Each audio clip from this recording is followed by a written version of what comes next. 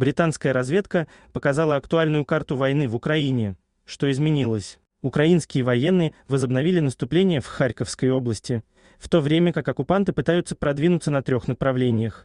Об этом сообщает РБК Украина со ссылкой на карту, опубликованную в Твиттер Министерства обороны Британии. По данным британской разведки, вооруженные силы Украины снова проводят контратаку на Изюмском направлении. Российские войска, в свою очередь, пытаются продвинуться в Харьковской, Луганской и Донецкой областях. Что касается ситуации на южных рубежах, то украинские вооруженные силы продолжают наносить точные удары по складам и штабам противника. Контрнаступление ВСУ проводят на двух направлениях – в районе Николаевской области и вдоль правого берега Днепра. Напомним, за прошедшие сутки вооруженные силы Украины ликвидировали еще 200 оккупантов.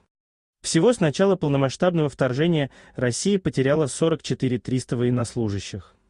Подписывайтесь на наш YouTube-канал, чтобы оставаться в курсе важных новостей. Также под видео вы найдете ссылку на скидки на AliExpress. Спасибо за просмотр.